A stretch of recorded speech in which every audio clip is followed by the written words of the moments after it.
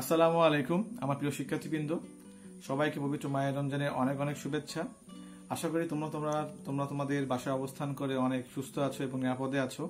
তোমরা অবশ্যই অবগত আছো যে বিশ্বব্যাপী কোভিড নাইন্টিন নামক একটি রোগের প্রাদুর্ভাব ছড়িয়ে পড়ার কারণে বাংলাদেশেও এর অনেক গুরুতর প্রভাব দেখা দিয়েছে। যার কারণে বাংলাদেশের স্কুল, কলেজ সহ অনেক সরকারি, বেসরকারি প্রতিষ্ঠান আপাতত বন্ধ আছে। তো তোমরা যারা শিক্ষার্থী আছো তারা নিয়মিত ক্লাস করতে না পেরে তোমাদের পড়ালেখা অনেক ক্ষতি হচ্ছে। সেই ক্ষতি কিছুটা হলেও পুষিয়ে নেওয়ার জন্য বাংলাদেশ সরকারের মাননীয় প্রধানমন্ত্রী জননেত্রী শেখ হাসিনার নির্দেশনা এবং শিক্ষা মন্ত্রণালয়ের আদেশ মোতাবেক চুয়াডাঙ্গা সরকারি কলেজের সুযোগ্য অধ্যক্ষ এবং অধ্যক্ষ মহোদয় সার্বিক তত্ত্বাবধানে চুয়াডাঙ্গা সরকারি কলেজের অফিসিয়াল ফেসবুক পেজ থেকে রুটিন মাফিক লাইভ ক্লাসের আয়োজন করা হয়েছে। তারই ধারাবাহিকতায় আমি মোহাম্মদ সাজিদ হাসান, প্রভাষক, ব্যবস্থাপনা চুয়াডাঙ্গা সরকারি কলেজ, তোমাদের সামনে উপস্থিত হয়েছি। তো যে যেখান থেকে এই লাইভ ক্লাসটি দেখছ, তারা অবশ্যই মনোযোগ সহকারে দেখবে এবং তোমাদের যা পরিচিত যে বন্ধুদের কাছে তোমরা এই লাইভ ক্লাসটি অবশ্যই শেয়ার করবে, যাতে তারাও অংশগ্রহণ করতে পারে। তো ইনশাল্লাহ তোমরা এই ক্লাসটি অবশ্যই উপভোগ করবে।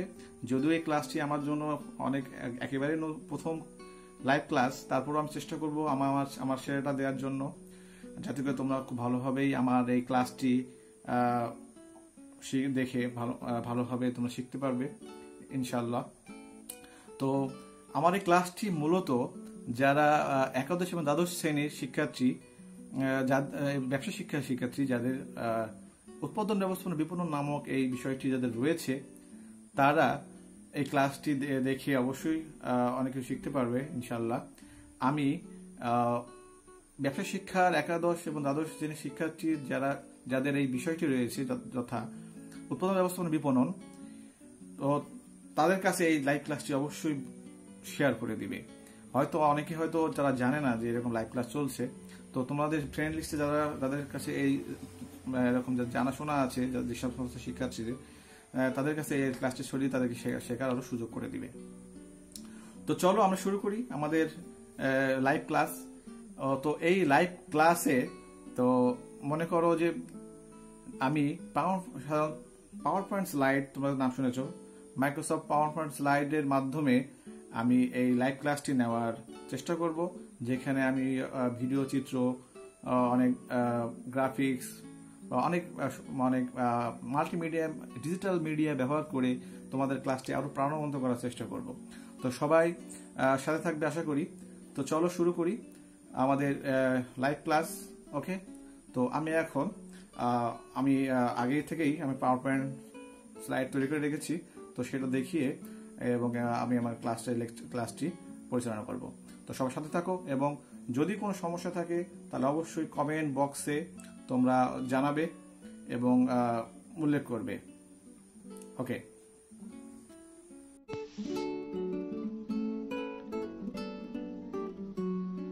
তাহলে চলো শুরু করি। আজকের এই digital audio visual live class তো প্রথমেই তোমাদেরকে আমার এই ক্লাসে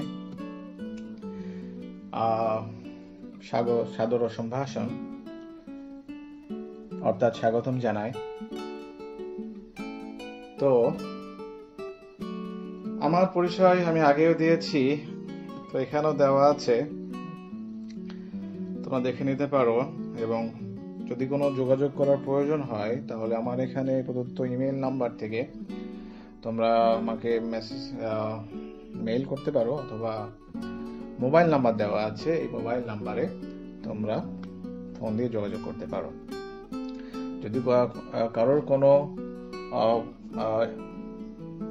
বিষয়ে কোনো জানার থাকে বা কোনো বিষয়ের উপর যদি এই অডিও ভিজুয়াল ডিজিটাল ক্লাস নেওয়ার যে প্রয়োজন হয়, তাহলে অবশ্যই আমাকে তোমার মেইল অথবা ফোনে যোগাযোগ করে জানাতে পারো। তো ঠিক আছে, এরপর আমরা আগাই। তো আমি তোমাদের সাথে এখানে একটা মা আজ আচ্ছা ওকে তো আজকের পার্ট হিসেবে দেখো আমরা উৎপাদন ব্যবস্থা বিপণনের দ্বিতীয় পত্র নিয়ে আলোচনা করতে চাই। এবং এই ক্লাসটা একাদশ, দ্বাদশ, উভয় শ্রেণির জন্যই উপকারী হবে। এবং এটা হচ্ছে ষষ্ঠ অধ্যায়। এই ষষ্ঠ অধ্যায়কে আমি দুইটা পর্বে ভাগ করেছি। প্রথম পর্ব এবং দ্বিতীয় পর্ব। তো প্রথম পর্বে ক্লাস হিসেবে আমি এই লেকচারটা পরিচালনা করব। তো সবাই সাথে থাকবে এবং সবাই একটু মনোযোগী হয়ে যাও। সো মূল আলোচনা একটু পরে শুরু হবে। তো মূল আলোচনা শুরু হওয়ার পূর্বে আমি তোমাদের সাথে একটা মাইন্ড গেম খেলতে চাই। মাইন্ড গেম বলতে, মনে করো যে তোমার, আমি চাই তোমরা কিছু একটা গেজ করো। তোমাদেরকে আমি একটা সুন্দর একটা ভিডিও দেখাবো উইথ সাউন্ড ইফেক্ট তো ভিডিওটা দেখে তোমরা বলবে, তোমরা গেস করবে যে আজকের ক্লাসটা আমি কোন টপিকের উপরে নিতে যাচ্ছি। ওকে তো, আমি, চলো, আমরা ভিডিওটা দেখি।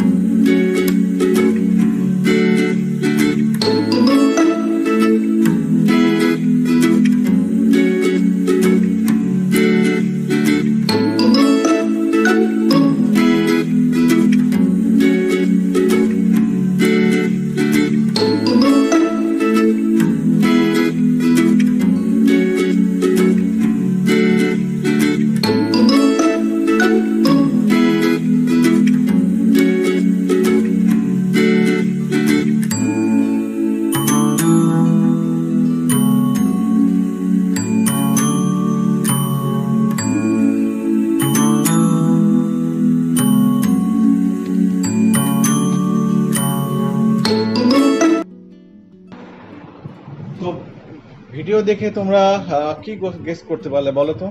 আজকে আমাদের টপিক কি হতে পারে? দেখি, তোমরা যারা যারা গেস করতে পেরেছ, তারা অবশ্যই কমেন্টে জানাও যে আজকের আমার ক্লাসটা কোন টপিকের উপরে হতে পারে। ওকে তো ঠিক আছে অনেকেই হয়তো পেরেছ। দেখা, তো আমি বলে দিচ্ছি, আজকের ক্লাসটা আজকের পাঠ হচ্ছে পণ্য বন্ধন প্রণালী। ইয়েস যারা সঠিক অ্যান্সার দিতে পেরেছ, তাদেরকে অনেক অসংখ্য অসংখ্য ধন্যবাদ। শুভ- শুভকামনা, শুভেচ্ছা। আর যারা পারোনি বা ব্যর্থ হয়েছো, তাদের মন খারাপের কোনো দরকার নেই। ইনশাল্লাহ ভবিষ্যতে তোমরাও পারবে। তো আজকে আমাদের পাঠের বিষয় হচ্ছে পণ্য বন্টন প্রণালী। তোমরা ভিডিওতে অবশ্যই দেখেছ যে ওখানে ভিডিওতে ছিল একটি প্রোডাক্ট ডিস্ট্রিবিউশন মানে একটা বিভিন্ন রকমভাবে একটা একটা চিত্র, তাই না? তো একটা একটা কোম্পানি দেওয়া ছিল, সেই কোম্পানি হচ্ছে ইউনিলিভার কোম্পানি সেই ইউনিলিভার কোম্পানি তার পণ্য কীভাবে এক জায়গা থেকে তাদের ফ্যাক্টরি থেকে কীভাবে তারা ওয়্যার হাউস দ্যাট তারা তাদের গুদামঘর বা সংরক্ষণাগার পাঠায় এবং সেখান থেকে কীভাবে তারা ডিস্ট্রিবিউশনের কাছে পাঠায় এবং ডিস্ট্রিবিউটর থেকে কীভাবে তারা হচ্ছে বিভিন্ন জায়গায় তারা পণ্যটা সরবরাহ করে। তার একটা চিত্র সেখানে আমরা দেখেছিলাম, তাই না? সো তো আজকে, তো আমরা পণ্য বন্টন প্রণালী সম্পর্কে কিছু বিস্তারিত আলোচনা করব। তো এই পাঠ শেষে শিক্ষার্থীরা কিছু কিছু তিনটা বিষয় আজকে এই অডিও ভিজুয়াল ডিজিটাল ক্লাস থেকে তিনটা বিষয় তোমরা শিখতে পারবে। সেখানে এক নম্বর হচ্ছে তোমরা অবশ্যই পণ্য প্রণালীর ধারণা ব্যাখ্যা করতে পারবে। আমি তোমাদেরকে অবশ্যই এই লেকচারে পণ্য বন্টন প্রণালী আসলে কি, এটা একটা ব্যবসায়িক ক্ষেত্রে এটার আসলে গুরুত্ব কতখানি বা এটা কীভাবে কাজ করে, এই সম্পর্কে আমি ধারণা দেওয়ার চেষ্টা করব। এরপরে আমি তোমাদেরকে ধারণা দেওয়ার চেষ্টা করব যে পণ্য বন্টন প্রণালীর বিভিন্ন শ্রেণি বিভাগ। আসলে পণ্য অনেক তোমার জানো আমি আগের ক্লাসেও আলোচনা করছি, আগের ক্লাসে আগের যে পঞ্চম অধ্যায়, সেখানে আমি পণ্যের বিভিন্ন পণ্যের শ্রেণি বিভাগ সম্পর্কে তোমাদের আলোচনা করেছিলাম। অবশ্যই তোমাদের হয়তো মনে আছে, সেই পণ্য বন্টন প্রণালীর সেই পণ্যের উপরে, সেই পণ্যের যেহেতু পণ্য বিভিন্ন রকম হতে পারে, তাই পণ্যের বন্টন প্রণালী কিন্তু পণ্যের আকৃতি বা পণ্যের ধরন ভেদে বিভিন্ন রকম হতে পারে। সে বিষয়ে আমি কিছু বিস্তারিত আলোচনা করব। এরপরে আমরা আলোচনা করব যে পণ্য বন্টন প্রণালীর কার্যাবলী। এই এই পণ্য কার্যাবলী সম্পর্কে আলোচনা করার পরে তোমরা এই পণ্য বন্টন প্রণালীর কার্যাবলী সম্পর্কে আরও বিস্তারিতভাবে ব্যাখ্যা করতে পারবে। যদি কোনো এই বিষয়ে যদি কোনো প্রশ্ন আসে পরীক্ষায়, অবশ্যই আমি আশা করি এই এই ক্লাস এই যে অডিও ভিজুয়াল ক্লাস দেখার পর অবশ্যই তোমরা ভালোভাবে প্রশ্নের উত্তর দিতে পারবে ইনশাল্লাহ ওকে তো প্রথমেই আমি আলোচনা করি যে পণ্য বন্টন প্রণালী আসলে কি? তো দেখো, পণ্য প্রণালী প্রণালী হচ্ছে, দেখো, এখানে একটা প্রণালীর কথা লেখা আছে চ্যানেল তোমরা জানো চ্যানেলের মাধ্যমে কি হয়? চ্যানেলের মধ্যে দেখে যে যদি উঁচু স্থান, উঁচু, যদি মনে করো তোমাদের এলাকায় যদি কোনো খাল থাকে, সে খালে কি হয়? খালে হচ্ছে খালে যদি উঁচু খালের পানি দেখবা যে উঁচু স্থান থেকে নিচের দিকে প্রবাহিত হয়। তো উঁচু এক স্থান থেকে যদি পানি যদি আসে, তো আস্তে আস্তে সেই খাল বেয়ে কিন্তু পানিটা নিচের দিকে চলে যায়। তো ঠিক তেমনি পণ্য, যখন পণ্য কোনো ফ্যাক্টরিতে যখন উৎপাদিত হয়, তখন কিন্তু হিউজ পরিমাণ পণ্য এখানে তৈরি তৈরি হয়। এবং সেই পণ্য আস্তে আস্তে কি বিভিন্ন একটা চ্যানেলের মাধ্যমে আস্তে আস্তে কাস্টমারদের কাছে কিন্তু পৌঁছে যায়। তোমরা তো জানো যে কাস্টমাররা কিন্তু খুব বেশি পরিমাণ পণ্য কিন্তু তারা ক্রয় করে না। তারা হয়তো খুবই অল্প পরিমাণে তারা পণ্যগুলো ক্রয় করে থাকে। কিন্তু ফ্যাক্টরি বিভিন্ন কোম্পানির যে ফ্যাক্টরি থাকে বা কারখানা বা থাকে, সেখানে কিন্তু অনেক হিউজ হিউজ পরিমাণ পণ্য কিন্তু একসাথে তারা তৈরি করে।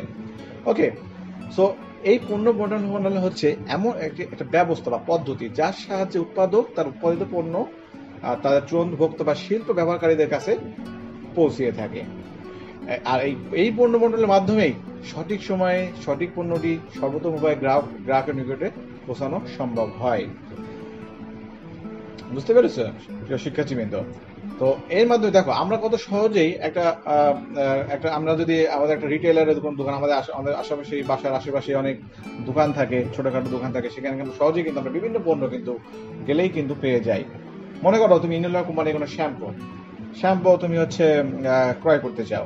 তো দেখো, এখন শ্যাম্পু তো আমরা জানি, আমরা কিন্তু সবাইকে শ্যাম্পু কিন্তু আমি কিন্তু আমরা কিন্তু ট্রাক ট্রাক শ্যাম্পু কিন্তু আমরা কিনবো না, তাই না? আমাদের শ্যাম্পু কিন্তু বেশি প্রয়োজন নেই। আমরা যদি একটা একটা, অনেকে হয়তো এক পাতা, প্রতিদিন এক পাতা বা এক মাসের জন্য একটা এক বড় একটা তোমার শ্যাম্পুর যে জার থাকে বা কোটা থাকে, সেটা কিন্তু সবাই কিনে থাকে। কেউ কিন্তু অনেক অনেক বেশি বেশি শ্যাম্পু কিন্তু তারা কেনে না। সো তো এই যে মানে এবং যদি মনে করো যে এই ইনোভা কোম্পানি যদি পণ্য যদি তারা যদি এরকম আমাদের বাসার আশেপাশে যদি তারা যদি যদি সরবরাহ না করতো, তাহলে কিন্তু আমরা কিন্তু সঠিক সময় কিন্তু পণ্যটা পেতাম না। আমার আমাদের এই সামান্য এই শ্যাম্পু কিনতে কিন্তু আমাদেরকে হয়তো কোনো শোরুমে যাওয়া লাগতো। কিন্তু এই কিন্তু ইনোভা কোম্পানি কিন্তু কি করছে? সে এই ইনোভা কোম্পানি কিন্তু সহজেই তোমার বাড়ির পাশেই দেখবে যে কোনো একটা দোকানে কিন্তু ইনোভা কোম্পানির প্রোডাক্টটা কিন্তু পৌঁছে দিয়েছে। তো সেখান থেকে তুমি সহজেই সঠিক সময় তোমার যখন প্রয়োজন, তখন তুমি কিন্তু পণ্যটা ক্রয় করতে পারবে। বুঝতে পেরেছ প্রিয় শিক্ষার্থীবৃন্দ? তো এরপরে আমরা তারপর দেখো যে এই এই- বন্টন প্রক্রিয়ায় কিন্তু কিছু সদস্য থাকে। এই এবং সেই সদস্যগুলোকে আমরা সাধারণত মধ্যস্থ ব্যবসায়ী বলে থাকি। তো এই মধ্যস্থ যেমন এজেন্ট, পরিবেশক, পাইকারি ব্যবসায়ী, খুচরা ব্যবসায়ী ইত্যাদি। তো এগুলো তোমরা হয়তো জানো, তোমরা অবশ্যই হয়তো তোমরা তোমার যখন বাজারে যাও আশেপাশে দেখবে যে এরকম অনেক ব্যবসায়ী কিন্তু আছে। তো এই সময় তোমার ধারণা হয়তো অবশ্যই আগে থেকে আছে। তো দেখি আমরা একটা পণ্য বর্ণপূর্ণ একটা একটা মডেল চিত্র আমরা দেখি। দেখো যে পণ্য বর্ণপূর্ণ আসলে কীভাবে বন্টন হয়? প্রথমে দেখো উৎপাদক। এই বন্টন প্রণালীর প্রথম যে সদস্য, সেই সদস্যটি হচ্ছে উৎপাদক। এখানে মূল কোম্পানি যে পণ্যটা তারা তৈরি করে, তাদের নিজস্ব ফ্যাক্টরি থাকে, সেই ফ্যাক্টরিতে তারা পণ্যটা তৈরি করে। এরপরে আসছে দেখো এজেন্ট সে কি করে? উৎপাদক তখন সে কি? সে দেখা সে এজেন্ট দেখো বিভিন্ন এলাকায় যেখানে তাদের পণ্য কাস্টমার থাকে, সেখানে তাদের এজেন্ট নিয়োগ করে। মনে করো বাংলাদেশে মনে করো চৌষট্টি জেলা। তো মনে করো যে ইনলোভের কোম্পানি তাদের সে, তাদের প্রোডাক্ট মনে করো শ্যাম্পু মনে করো যে সানসিল বা ক্লিয়ার শ্যাম্পুটা সে সরবরাহ করতে চায়। তো সে তারা কি করতে পারে? তারা দেখা যাচ্ছে যে চৌষট্টি জেলা চৌষট্টি এজেন্ট তারা নিয়োগ করতে পারে।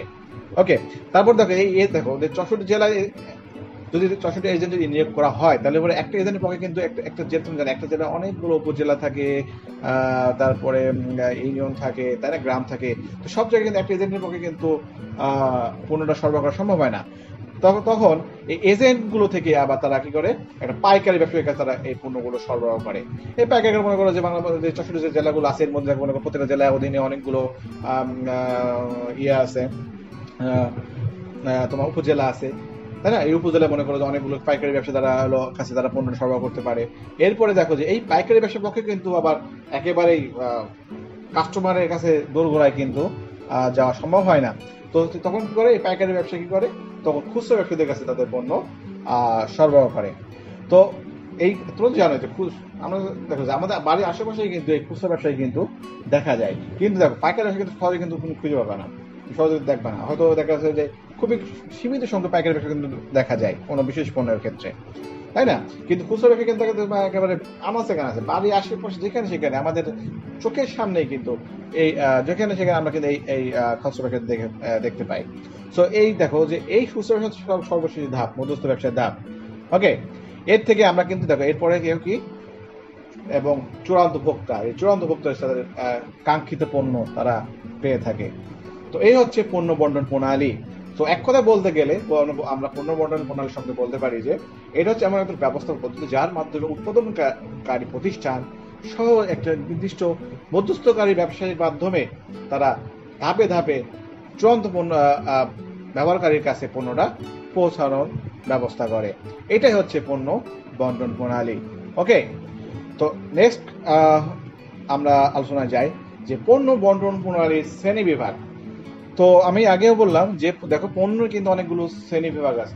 পণ্যেরই অনেকগুলো শ্রেণি বিভাগ আছে। আমি যেটা আগের ক্লাসে আমি আলোচনা করছি যে, পণ্য প্রধানত দুই প্রকার হতে পারে। একটা হচ্ছে ভোগ্য পণ্য শিল্প পণ্য তাই না? আবার পণ্য কিন্তু সেবাও হতে পারে, তাই না? কিছু কিছু বিষয় আছে যেগুলো মানুষের অভাব পূরণ করে কিন্তু দেখা যায় না, ধরা যায় না, ছোঁয়া যায় না। তারপরেও কিন্তু মানুষের অভাব বা উপযোগ চাহিদা পূরণ করে। তো সেগুলো তো এই যে দেখো পণ্যের বিভিন্ন ধরন, এই ধরনের উপর ভিত্তি করে পণ্যকে কিন্তু পণ্য বর্ণন প্রণালী কিন্তু তিন ভাগে ভাগ করা যায়। একটা ভোগ্য পণ্যের বর্ণন প্রণালী শিল্প পণ্যের বর্ণন প্রণালী তারপর হচ্ছে কি? তিন নাম্বার হচ্ছে সেবা পণ্যের বর্ণন প্রণালী ওকে এরপরে আমরা আলোচনায় আসি, দেখো যে ভোগ্য পণ্যের বর্ণন প্রণালী আসলে কেমন হয়? তো দেখো, তো ভোগ্য পণ্য বর্ণন প্রণালী দেখো যে দেখো যে আমরা তো জানি যে ভোগ্য পণ্য আসলে কি? যে যে সকল পণ্য চূড়ান্ত ভোগ বা ব্যবহার উদ্দেশ্যে ক্রয় করা হয়ে থাকে, তাকে আমরা জানি যে ভোগ্য পণ্যের প্রণালী ভোগ্য পণ্য বলা হয়ে থাকে। তো এই ভোগ্য পণ্য বর্ণন প্রণালী দেখো চার ধরনের হয়ে থাকে। তো প্রথম প্রণালী দেখো, প্রথম প্রণালী হয় কীরকম? প্রথম প্রণালী দেখা শুধুমাত্র দুইটা সদস্য থাকে, একজন উৎপাদনকারী একটা হচ্ছে ভোক্তা। অনেক সময় অনেক কোম্পানি দেখা যায় যে তারা সরাসরি কাস্টমারের কাছেই তারা পণ্যটা সেল করে থাকে। তো এক্ষেত্রে এই এই পণ্য, এই বন্টন প্রণালীকে বলা হয় প্রত্যক্ষ বন্টন প্রণালী। বুঝতে পারছ? দেখো যে এই পণ্য, অনেক সময় বিশেষ করে ক্ষুদ্র ক্ষুদ্র ব্যবসায়ী উৎপাদনকারী প্রতিষ্ঠান সাধারণত এই পণ্য পণ্য ব্যবহার করে থাকে। দেখা যায়, দেখা যাচ্ছে অনেক সময় লোকাল বিভিন্ন ফ্যাক্টরি থেকে থাকে ফ্যাক্টরি আছে। মনে করো যে আমার বাংলা চকরাঙ্গা মনে করো যে বঙ্গস লিমিটেড কোম্পানি, তারা হচ্ছে কি, তারা হচ্ছে বিস্কিট বা ব্রেড তারা হচ্ছে কি উৎপাদন করে থাকে। তারা কিন্তু অনেক সময় তারা দেখা হতে পারে তারা হয়তো একেবারে সরাসরি কোম্পানিতে কোম্পানি সরাসরি দেখা যাচ্ছে কাস্টমারের কাছে তারা পণ্যটা সেল করছে করতে পারে। তো এটা হচ্ছে তোমার প্রণালীর নাম একরকম একটা ভোগ্যপণ্যের বর্ণ প্রণালী আরেকটা বর্ণ প্রণালী হচ্ছে দেখো যে, এখানে অনেক সময় কি করে, উৎপাদনকারী কি করে, একটা হচ্ছে খুচরা বিক্রেতা হ্যাঁ দেখা যাচ্ছে যে সে একেবারে সরাসরি ভোক্তার কাছে না গিয়ে সে আগে খুচরা বিক্রেতাদের কাছে তার পণ্যটা সেল করে সরবরাহ করে। তারপর সে খুচরা বিক্রেতা আবার ভোক্তার কাছে সরবরাহ করে। এরপর দেখো আহ, বর্ণ প্রণা- আহ, আহ, তিন নম্বর প্রণালী হচ্ছে আহ, ভোগ্যপণ্যের বর্ণন হচ্ছে দেখো এখানে দেখো প্রথম উৎপাদন উৎপাদনকারী থাকবে এরপরে থাকবে কি পাইকার থাকবে এরপরে থাকবে কি খুচরা বিক্রেতা থাকবে এরপর হচ্ছে কি ভোক্তা থাকবে। না মানে এখানে এই তিন নম্বর বর্ণমালা দেখো পাইকার আবার কিছু সে এখানে যোগ হচ্ছে। অনেক সময় দেখা যাচ্ছে যে পণ্য আসলে পণ্যের আসলে যেই পণ্যটা পণ্যটা আসলে খুব বেশি কম গুরুত্ব বেশি কাস্টমার খুব বেশি প্রয়োজন হয় সাধারণত। এবং খুব বেশি পরে, এবং সেই পণ্যগুলো সাধারণত পণ্য মনে এরকম এরকম তৃতীয় নাম্বার বন্ডপনার মতো হয়ে থাকে। এরপরে দেখো যে চৌদ্দ নম্বর বন্ডন প্রণালী হচ্ছে যে এখানে উৎপাদনকারী থাকবে, যদি এখানে তারপরে থাকবে এজেন্ট থাকবে এবং তারপরে কি থাকবে? পাইকার থাকবে, এরপরে হচ্ছে খুচরা বিক্রেতা থাকবে, এরপরে কি? ভোক্তা থাকবে। ওকে, তো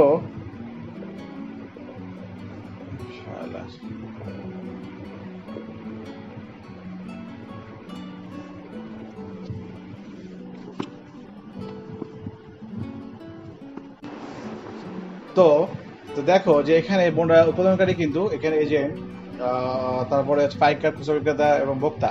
তো এখানে আবার দেখো যে এই চতুর্থ নাম্বার যে ফোনারি আছে, এখানে কিন্তু আবার এর সংখ্যা বেড়ে গেছে। আসলে ভোগ্যপণ্য কিন্তু বন্ডমেলা সাধারণত দীর্ঘ হয় তার কারণ হচ্ছে কিন্তু ভোগ্যপণ্যগুলো মানুষ আসলে খুব বেশি পরিমাণে ক্রয় করে না। এবং যার কারণে কোম্পানি বড় বড় বড় কোম্পানির পক্ষে একেবারে সরাসরি কাস্টমারের কাছে পণ্য পৌঁছে দেওয়া সম্ভব হয় না। এজন্য তাদের অনেক সময় অনেক বেশি পরিমাণ মধ্যস্থ ব্যবসায়ী ব্যবহার করার প্রয়োজন হয়। তো ঠিক আছে, আশা করি তোমরা অবশ্যই বুঝতে পেরেছ যে এই আলোচনাটি যদি বুঝতে যদি কোনো সমস্যা হয়, অবশ্যই তোমরা অবশ্যই জানাবে। কোনো টপিক সম্পর্কে যদি বুঝতে যদি ভালো না পারো, তাহলে অবশ্যই আমার কমেন্ট বক্সে জানাবে। এরপরে চলো আমরা আলোচনা করি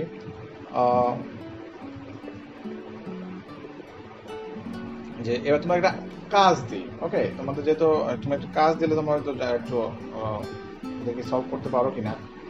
দেখো স্লাইডে শুরুর দিকে আমি একটা ভিডিও প্রদর্শন করেছিলাম, যেখানে নীলবার কোম্পানি তাদের তাদের পণ্য সরবরাহের একটা বিভিন্ন প্রণালী দেখে দেখেছিল তোমাকে বলতে পারবে যারা কত ধরনের কত প্রকার, কোন প্রকার প্রণালী তারা ব্যবহার করেছে? যদি পারো তাহলে তোমরা অবশ্যই, যদি উত্তর দিতে পারো, তাহলে অবশ্যই তোমরা কমেন্ট বক্সে জানাও। ওকে যারা যারা উত্তর দিতে পারছ, অবশ্যই তাদেরকে অনেক ধন্যবাদ, শুভেচ্ছা এবং শুভকামনা এবং যারা চেষ্টা এবং যারা পারছ তারা চেষ্টা করতে থাকবে ইনশাল্লাহ তোমরা পেরে যাবে। ওকে এরপরে আমরা আলোচনা করি আলোচনা করি শিল্প পণ্যের বন্টন প্রণালী। যে সকল পণ্য উৎপাদনের কাজে ব্যবহার করা হয়, তাকে শিল্প পণ্য বলে। এই ধরনের তুমি তো জানোই যে শিল্প পণ্য সাধারণত পুনরায় আবার উৎপাদনের কাজে ব্যবহার করা হয়। মানে এখানে পুনরায় ভোগ ভোগের উদ্দেশ্যে ক্রয় করা হয় না। সো তাই এই জন্য এই আর জানো যে যেসব কোম্পা- আহ, যেসব ব্যবসায়ী আবার তারা পুনরায় উৎপাদনের জন্য যে পণ্যগুলো ক্রয় করেছে তারা কিন্তু এই ভোক্তাদের মতো অল্প অল্প পরিমাণে কিন্তু তারা ক্রয় করে থাকে না। তারা কিন্তু অনেক বেশি বেশি পরিমাণ তারা কিন্তু তারা পণ্য কিন্তু ক্রয় করে থাকে। আসলে তারা আসলে তাদের কাঁচামাল হিসেবে তার পণ্যগুলো ক্রয় করে থাকে। মূলত শিল্পপণ্যগুলো মূলত আমরা কাঁচামাল জাতীয় পণ্যই কিন্তু আমরা বলি। অবশ্যই অবশ্য শিল্পপণ্য আরও অনেক প্রকারভেদ আছে যা আমরা আগের ক্লাসে বা আগের চ্যাপ্টারে আমরা আলোচনা করেছি। তো যাই হোক, তো দেখো যে শিল্পপণ্য এই জন্য যেহেতু শিল্পপণ্য কিন্তু অনেক বেশি পরিমাণে ক্রয় করা লাগে এবং শিল্প, এবার দেখো যে শিল্পপণ্য কিন্তু যে ক্রেতা, তারা কিন্তু সংখ্যায় কিন্তু খুব বেশি নয়। ভোগ্যপণ্যের তুলনায়, তাই না? ভোক্তা কিন্তু সারা বাংলাদেশের মানুষ, যারা বিশ্বের মানুষ, কিন্তু ভোক্তা। কিন্তু মানে পণ্য উৎপাদনকারী কিন্তু বেশি নয়, তাই না? তাই নয় কি? তো তো এই জন্যই যে শিল্প পণ্যের ক্ষেত্রে কিন্তু ক্রেতা কিন্তু খুব কম পরিমাণে হয়ে থাকে। এই জন্যই এই এই শিল্প পণ্য কিন্তু খুব বেশি দীর্ঘ হয় না। তারপরেও চার ধরনের শিল্প পণ্য বর্ণপলা দেখা যায়। তো প্রথম যে শিল্প পণ্য বর্ণপলা ছিল প্রথমে সেই মতোই উৎপাদনকারী প্রথমে তারা পণ্য তৈরি করে এবং তারপরে শিল্প ক্রেতার কাছে পৌঁছিয়ে দেয়। এরপরে দেখো উৎপাদনকারী আহ, কি করে? প্রথমে উৎপাদনকারী তার শিল্প পরিবেশ নিয়োগ করে মানে ইন্ডাস্ট্রিয়াল ডিস্ট্রিবিউটর তাই না? এই এই এরপরেই তারা হচ্ছে শিল্পকেতার কাছে পৌঁছিয়ে দেয়। এই তৃতীয় নাম্বার পণ্য মন্ডল প্রণালী হচ্ছে যে উৎপাদনকারী উৎপাদনকারী হচ্ছে তার প্রথমেই আহ, তারা উৎপাদনকারী প্রতিনিধি বা একটা- তারা একটা সেলিং পয়েন্ট তারা হচ্ছে চালু করে থাকে। তোমরা হয়তো অনেক সময় দেখবা যে হলো সাধারণত দেখবা যে এই যে হিরো মোটরসাইকেল তাই না? হিরো মোটর দেখো যে হিরো মোটরসাইকেল মূল কোম্পানি কিন্তু এটা কিন্তু ইন্ডিয়ান ভারতীয় তাই না? তারা কিন্তু প্রথমে কি করে তারা কিন্তু এই প্রতিনিধি তারা কিন্তু তারা যখন এক্সপোর্ট করে অন্য দেশে যখন তারা পণ্যটা তারা বিক্রয় করতে চায়, তখন তারা কিন্তু বিক্রয় শাখা তারা প্রথমে ওপেন করে। তারপরে শাখার মাধ্যমে তারা হচ্ছে তারা কিন্তু একেবারে শিল্প যে ক্রেতার কাছে তারা কিন্তু পৌঁছিয়ে দেয়। এই যে পাসপোর্ট যেগুলো আছে, তারা কিন্তু পৌঁছিয়ে দেয়। তাই না? এরপরে দেখো যে উৎপাদনকারী কিন্তু তারা প্রথম এরকম যে আগের মতোই আহ, তারা বিক্রয় শাখা চালু করে। এরপরে দেখো যে অনেক সময় ডিস্ট্রিবিউটর তারাও কিন্তু শিল্প পরিবেশ চালু করে। এরপরে শিল্প ক্রেতার কাছে পণ্যটা পৌঁছিয়ে দেয়। তো এই হচ্ছে শিল্প পণ্যের বন্টন প্রণালী। এরপরে চলো আমরা দেখি যে সেবা পণ্যের বন্টন প্রণালী কেমন। তো সেবা তো জানো সেবা হচ্ছে এমন ধরনের পণ্য যা হচ্ছে দেখা যায় না কিন্তু মানুষের অভাব পূরণ করে ছোঁয়া যায় না তাই না? এটা এটা শুধুমাত্র অনুভব করা যায়। যেমন ধরো শিক্ষকের সেবা, ডাক্তার বা নার্সের সেবা, ব্যাংকে, ব্যাংক বা বিমা সেবা, এগুলো যদিও আমাদেরকে অনেক আমাদেরকে অনেক সুবিধা দেয়, অনেক প্রয়োজন পূরণ করে। হুম, তারপরেও এগুলো কিন্তু দেখা যায় না। তো এই এই সেবা পণ্য বন্টন বন্টনও কিন্তু বিভিন্ন বন্টন কিন্তু ব্যবহার করা হয়। বিশেষ করে বড় বড় বড় বড় সেবা প্রদানকারী প্রতিষ্ঠান কিন্তু এই বন্টন প্রণালী কিন্তু ব্যবহার করে থাকে। তো প্রথমেই উৎপাদনকারী কি করে? হ্যাঁ এখানে তারা হচ্ছে একেবারে সরাসরি কিছু কিছু সেবা উৎপাদনকারী প্রতিষ্ঠান আছে যারা সরাসরি একেবারে বক্তব্য শিল্পের কাছে পণ্য সরবরাহ করে থাকে- কারণ তুমি দেখবা যে যারা ডাক্তার বা যারা হচ্ছে শিক্ষক বা যারা হচ্ছে সেলুন যে যারা ব্যবসায়ী যারা আছে, তারা কিন্তু সবাই পার্লার, বিউটি পার্লার, তারা কিন্তু সরাসরি কিন্তু কাস্টমারের কাছে কিন্তু তারা পণ্য সরবরাহ করে থাকে। এরপরে দেখো যে আরও এর মধ্যে আরও একটা আছে যে দ্বিতীয় বন্টন প্রণালী আছে, সেটা হচ্ছে উৎপাদনকারী তাদের প্রতিনিধি নিয়োগ করে। এবং এই প্রতিনিধির মাধ্যমে তারা হচ্ছে যে পণ্যটা তারা চূড়ান্ত ভোক্তার কাছে পৌঁছিয়ে দেয়। তো অনেক সময় যেমন উদাহরণ হিসেবে বলা যেতে পারে, যেমন ধরো যে অনেক সময় দেখা যাচ্ছে পার্সোনা, অনেক সময় দেখা যাচ্ছে পার্সোনাল বিউটি পার্লার দেখো অনেক সময় তারা শাখা খোলে। এখন দেখা যাচ্ছে যে ঢাকায় উপস্থিত- একটা পার্লার সেখানে দেখা যাচ্ছে যে অন্য জেলা, বিভাগীয় জেলা, সরকারি কিন্তু তারা শাখা বা প্রতিনিধি তারা চালু করে। এবং এই প্রতিনিধির মাধ্যমে তারা কিন্তু চূড়ান্ত ভোক্তার কাছে তাদের পণ্যটা পৌঁছিয়ে দেয়। বা বিশেষ করে ব্যাংক বলা যেতে পারে। ব্যাংক অনেক সময় ব্যাংক দেখেছে গ্রামে কিন্তু এজেন্ট ব্যাংকিং তারা চালু করছে। এই এজেন্ট যেমন ধরো ইসলামী ব্যাংক তাই না? ইসলামী ব্যাংক এজেন্ট দেখা অনেক এজেন্ট ব্যাংক দেখা যায়। তো এই এজেন্ট ব্যাংক তাদের প্রতিনিধি। এই প্রতিনিধির মাধ্যমে তাদের ব্যাংকিং যে সেবাটা তারা থেকে একেবারে কাস্টমারের কাছে তাদের ভোক্তার কাছে পৌঁছে দিচ্ছে। তো এই হচ্ছে তিন ধরনের বন্টন প্রণালী। তো এখন আমরা আলোচনা করব যে বন্টন প্রণালীর কার্যাবলী। তো দেখো বন্ধুরা শিক্ষার্থী বন্ধুরা, দেখো যে বন্টন প্রণালী কিন্তু অনেক কার্যাবলী আছে। তো অনেকগুলো কাজ করে থাকে আসলে। যে কাজগুলো খুবই গুরুত্বপূর্ণ। তো দেখো যে প্রথমেই তারা হচ্ছে, দেখো যে একটা গুরুত্বপূর্ণ কাজ তথ্য সরবরাহ। তারা কিন্তু অনেক ইনফরমেশন তারা কিন্তু তারা কিন্তু একেবারে তারা একেবারে সরেজমিনে কাস্টমার কাছে যেহেতু তারা থাকে সংস্কৃতি থাকে তারা কিন্তু একেবারে রিয়েল তারা কিন্তু একেবারে প্রকৃত মানে পণ্যের চাহিদা, অভাব বা তাদের হচ্ছে যে যে প্রয়োজন, তারা কিন্তু জানতে পারে। এবং এই তথ্যটা তারা কিন্তু কিন্তু তারা উৎপাদনকারী প্রতিষ্ঠানের কাছে সরবরাহ করতে পারে। হ্যাঁ দেখা যাচ্ছে যে একটা পণ্য কেমন কেমন বিক্রি হচ্ছে, কোন পণ্যের চাহিদা বেশি, কোন পণ্যের চাহিদা কম, কোন পণ্যটা পণ্যটা কাস্টমার পছন্দ করছে না, বা পস্ত পণ্য সম্পর্কে যদি কোনো অভিযোগ আছে কিনা, এই সম্পর্কে তথ্য কিন্তু তোমার হচ্ছে যে আহ, যে সদস্যরা থাকে বা ব্যবসায়ীরা থাকে যেমন পাইকার বা তার পাইকার বা হচ্ছে তোমার হচ্ছে যে পাইকার অথবা আহ, খুচরা ব্যবসায়ী এগুলো সরবরাহ করে থাকে। এরপর দেখো যে প্রসার তো প্রসার যে, দেখো যে, তারা কিন্তু প্রসারের প্রসারের কাজ করে থাকে, বা তারা কিন্তু অনেক বিজ্ঞা- বিজ্ঞাপনের কাজ করে থাকে। তোমার হয়তো খেয়াল করে দেখবা যে যে সমস্ত খুচরা বা খুচরা দোকানগুলো দেখা যায়, তাদের দোকান দেখবে অনেক সময় বিভিন্ন দেখবে যে বিজ্ঞাপন, বিভিন্ন বিলবোর্ড বিভিন্ন পোস্টার দেখা যায় কিন্তু। তাই না? তো তোমরা হয়তো অনেকে খেয়াল করছ। তারা কিন্তু, এবং তারা অনেক সময় দেখবে যে যেই যেই পণ্যগুলো দেখা যায় কমিশন বেশি দেয় বা মুনাফা বেশি দেয় তাদেরকে দেখি বেশি দেয় তাদেরকে যে তারা কিন্তু তাদের দোকানে একের সামনে তারা কিন্তু এগুলো রেখে দেয় বা এগুলো প্রদর্শন করে। এরা এক ধরনের কিন্তু প্র- প্রসার। তো প্রসারমূলক কাজও কিন্তু বর্ণন প্রণালীর সদস্য কিন্তু করে থাকে। এরপর দেখো যোগাযোগ স্থাপন। এটা খুবই গুরুত্বপূর্ণ একটা কাজ। দেখো যে কাস্টমারের সাথে কিন্তু উৎপাদনকারী প্রতিষ্ঠানের বা কোনো সম্পর্ক থাকে না। তারা তারা অনেকে চেনেই না। উৎপাদনকারী প্রতিষ্ঠান জানে না যে তারা কোনো ব্যক্তি তার কোম্পানির কাস্টমার কিন্তু এই মধ্যস্থ ব্যবসায়ী কিন্তু তারা কিন্তু জানে। তারা কিন্তু সহজ, তারা কিন্তু একেবারেই তাদের সংস্পর্শে থাকে। তাই যে যোগাযোগ, যে উৎপাদনকারীর কাছ থেকে কাস্টমারদের যে যোগাযোগ স্থাপন, এই ক্ষেত্রে কিন্তু এই মধ্যস্থ ব্যবসায়ীগুলো খুব গুরুত্বপূর্ণ ভূমিকা পালন করে। তারপর দেখা যায় সামঞ্জস্য বিধান।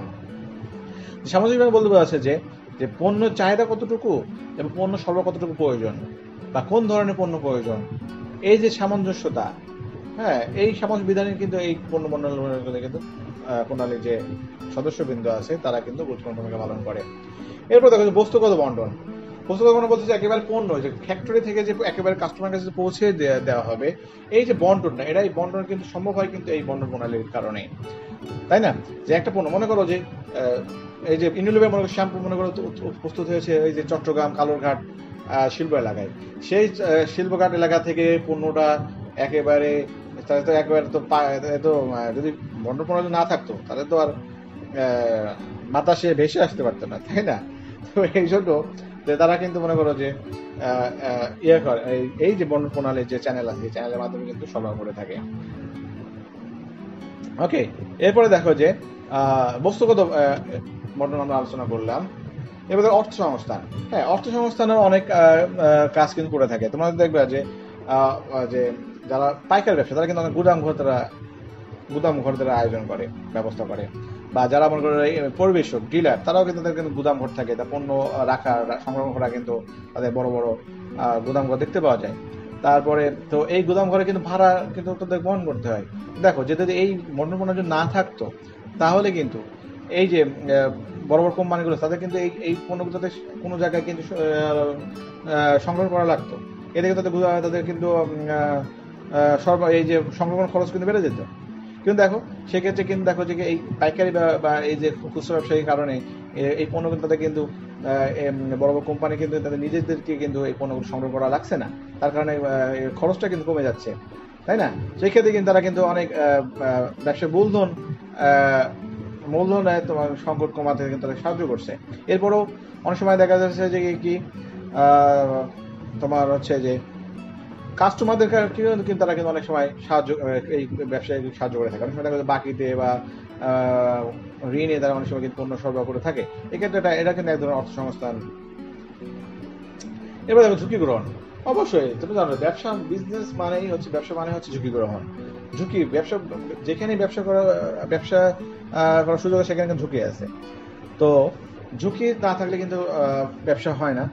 তো দেখো যে যেহেতু দেখো যে এই যে যে খুচরা ব্যবসা যারা পণ্য আহ, অন্য কোনো কোম্পানি যে পণ্য যারা সরবরাহ করছে বা বিক্রয় করছে দেখো এই পণ্যগুলো কিন্তু তারা, অনেক সময় নষ্ট হয়ে যেতে পারে বা চুরি হয়ে যেতে পারে ডাকাতি হয়ে যেতে পারে। তো এই ঝুঁকিগুলো কিন্তু সম্পূর্ণভাবে কিন্তু এই যে মধ্যস্থ ব্যবসা আছে সেই ব্যবসাগুলো কিন্তু বহন করতে হয়। এরপর দেখো যে একত্রীকরণ। দেখো যে একটা খুচরা ব্যবসায়ী ব্যবসায়ী যে ইয়েগুলো থাকে যে তোমার হচ্ছে যে দেখো যে খুচরা ব্যবসায়ীদের দোকানগুলো দেখবে যে একই দোকানে অনেক রকম কোম্পানি হরেক রকম পণ্য থেকে পাওয়া যায়। তো দেখো, যদি এই খুচরা ব্যবসা না থাকতো, তাহলে কিন্তু আমরা কিন্তু সহজেই বা কাস্টমার সহজেই কিন্তু এত মানে আমাদের দৈনন্দিন জীবনে যা যা প্রয়োজন হয়, সব কিন্তু আমরা কিন্তু পেতাম না। তাই না? তো মনে করো যে আমাদের কিন্তু দেখো আমাদের কত কিছু লাগে, চাল, ডাল, মনে করো যে খাবারের জন্য চাল, ডাল লাগে, তরি তরকারি লাগে, মাংস লাগে, বা শ্যাম্পু লাগে, বা টুথপেস্ট লাগে, কত কিছু লাগে।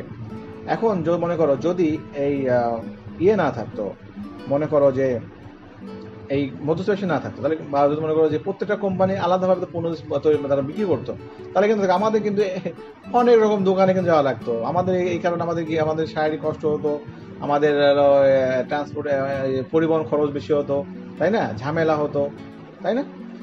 এই জন্য দেখো যে এই যে একত্রীকরণ করে, এই এই একত্রীকরণের যে কাজটা বিভিন্ন কোম্পানির পণ্য এক- একত্রিতকরণ কাজটাকে দেখে বর্ণ প্রণালীগুলো করে থাকে। দেখো বিভক্তিকরণ। এটা একটা অন্যতম গুরুত্বপূর্ণ কাজ যা বন্টন করে থাকে। বিভক্তিকরণ বলতে বোঝানো হচ্ছে যে যে পণ্যগুলোকে বিভিন্ন ভাগে ভাগ করা মানে কাস্টমারদের প্রয়োজন অনুযায়ী। মনে করো যে মনে করো চিনি। মনে করো একটা একটা খুচরা ব্যবসায়ী কিন্তু দেখা যায় দশ বস্তা বিশ বস্তা চিনি তারা কিন্তু তারা তার দোকানে কিনে রাখে? তার তার আহ, গুদাম করে সংরক্ষণ করে রাখে। আর আমরা কাস্টমার কিন্তু এই এক বস্তা করে চিনি কিন্তু কিনবো না তাই না? আমরা কিন্তু কিনলে কিন্তু কিনবো কি? আমরা কিন্তু কিনবো এক কেজি দুই কেজি তিন কেজি। সো এই যে মনে করো যে সুবিধাটা। এই যে তোমার যে সহজে দেখো তুমি সহজে তোমার কাঙ্ক্ষিত প্রয়োজন অনুযায়ী তুমি এই যে পণ্যটা কিনতে পারছ এইটা সম্ভব হচ্ছে কিন্তু এই বন্ধু এই বিভূতিকরণ কার্যগুলির কারণে। এরপর দেখো সেবা প্রদান। সেবা প্রদানও হ্যাঁ, অনেক সময় বন্ধু মোনালি সদস্যবৃন্দ করে থাকে। যেমন ধরো ওয়ারেন্টি গ্যারান্টি সুবিধা দেওয়া বা কোনো পণ্য ত্রুটি হয়ে গেলে পণ্য ফেরত নেওয়া বা কোনো সমস্যা হলে সমাধান করা হ্যাঁ বা এরকম ঋণ দেওয়া বাকিতে পণ্য দেওয়া এটা ধরনের সেবা তাই না? এসব এই তো এই ধরনের কাজগুলো কিন্তু এই বন্ধন করে থাকে। তো ওকে, এরপরে আমরা আসি। দেখো দেখি তোমাদের জন্য কিছু বহু নির্বাচনী প্রশ্ন আমি এখানে রেখেছি। তোমরা যে যেমন দেখো তোমার এই যে এই যে লেকচারটা তোমরা শুনলে, এটা দেখো যে এখানে এই লেকচার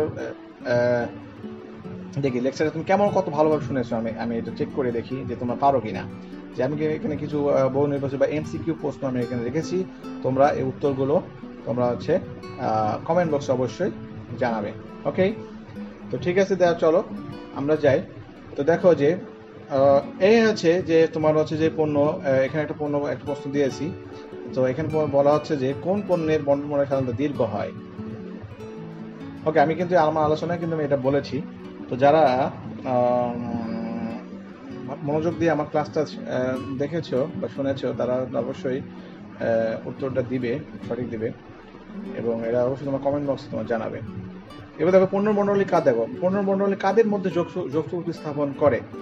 এখানে কিছু ই দেওয়া আছে অপশন দেওয়া আছে তোমার অবশ্যই এগুলো উত্তর দিবে। এবার দেখো প্রত্যক্ষ বর্ণন প্রণালী হলো কোনটি? প্রত্যক্ষ বলতে আমি আগে বলেছি যে সরাসরি যে যে যেই আহ, সরাসরি যে সরাসরি মানে যে উৎপা- উৎপাদন প্রতিষ্ঠানগুলো কাস্টমার কাছে পণ্য সরবরাহ করতে হয় তাদেরকে কিন্তু প্রত্যক্ষ বন্টন প্রণালী, সেই প্রণালীকে প্রত্য- প্রত্যক্ষ বন্টন প্রণালী বলা হয়। তো তোমরা দেখো, এখানে অপশন অপশন দেওয়া আছে অপশনগুলো থেকে তোমরা সঠিক উত্তরটি খুঁজে বের করো। এরপর একটা প্রশ্ন দিয়েছি, দেখো নিচের কোনটি বর্ণমূলক কার্য প্রণালী কার্যাবলী নয়, এটা তোমরা উত্তর কমেন্ট বক্সে দেওয়ার চেষ্টা করো। এরপরও আমি একটা প্রশ্ন দিয়েছি, কোন ভোক্তা- কোনটি পণ্য মণ্ডল প্রধান- সদস্য হতে পারে? না। হ্যাঁ এখানে একটা সদস্য আছে যেটা ভোক্তা- ভোক্তা- বর্ণমূলক সদস্য নয়। এটা তোমরা খুঁজে বের করো এবং এটা কমেন্ট বক্সে অবশ্যই জানাবে।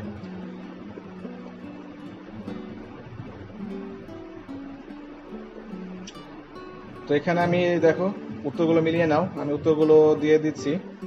দেখো, এই যে স্টারগুলো যেগুলো দেখানো যাচ্ছে, যেগুলো যে অপশনের পাশে স্টারগুলো দেখছ, এগুলো সবই কিন্তু সঠিক উত্তর। তো যারা সঠিক উত্তর দিয়েছে, তাদেরকে অবশ্য অনেক শুভকামনা, অনেক ধন্যবাদ। আর যারা দিতে পারো নাই, তারা আবার ভালো- ভালোভাবে ভিডিওটি দেখো লেকচারটি এবং কথাগুলো শোনো, ইনশাআল্লাহ। তো প্রিয় শিক্ষার্থীবৃন্দ, কেমন লাগল ক্লাসটি? আশা করি সবাই অনেক অনেক এনজয় করেছ এবং অনেক কিছু শিখতে পেরেছ। তো ইনশাল্লাহ আমি আবারও আসব লাইভ ক্লাসে এবং তোমাদের যে যে চ্যাপ্টারে সমস্যা আছে, তোমরা অবশ্যই কমেন্ট বক্সে উল্লেখ করবে। আমি অবশ্যই সেই বিষয়ের উপরে আবার ক্লাস নেওয়ার চেষ্টা করব।